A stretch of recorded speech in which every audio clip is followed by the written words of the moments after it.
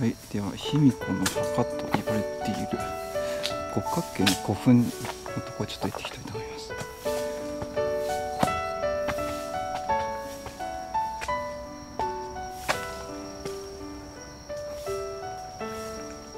この先のちょっと場所をつったと通りますけども、えー、570メートル先にマナイ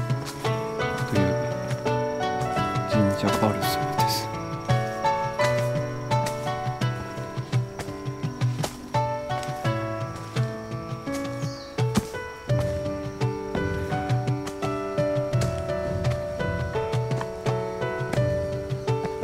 ちょっと見えてきましたね。こちらは卑弥呼の墓だと言われて